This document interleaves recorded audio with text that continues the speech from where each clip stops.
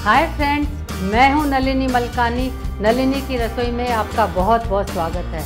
आज मैं बनाने जा रही हूँ क्रिस्पी करेला वेफर्स।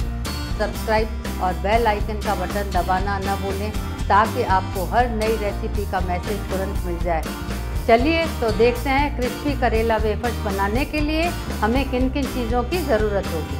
250 ग्राम करेला, दो बड़े चम्मच चने का आटा, दो बड़े चम्मच चावल का आटा, डेढ़ नींबू का रस, आधा छोटा चम्मच अजवाइन, एक छोटा चम्मच सौंफ, आधा छोटा चम्मच लाल मिर्च पाउडर, नमक स्वाद के अनुसार, और तेल। सबसे पहले हम करेले के वेफर्स बना देते हैं।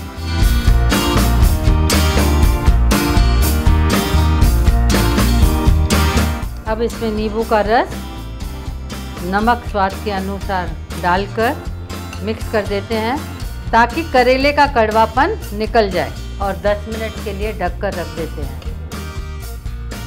अब इसमें चने का आटा, चावल का आटा थोड़ी सी अजवाइन, लाल मिर्च पाउडर सौंफ डालकर अच्छे से मिला लेते हैं। अच्छे से मिक्स हो गया है, अब यह फ्राई होने के लिए तैयार है।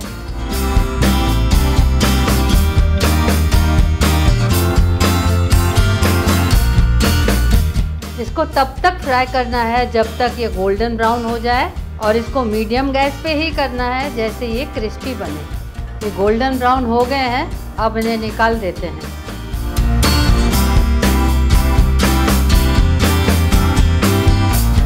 इसी तरह हम सब वेफर्स को फ्राई कर देंगे।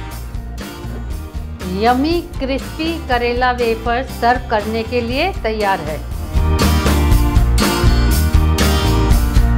अगर आपको मेरी रेसिपी पसंद आई है तो आप मेरे चैनल को सब्सक्राइब करें, मेरे वीडियो को शेयर करें और लाइक करें। जल्द ही नई रेसिपीज़ के साथ लौटूँगी।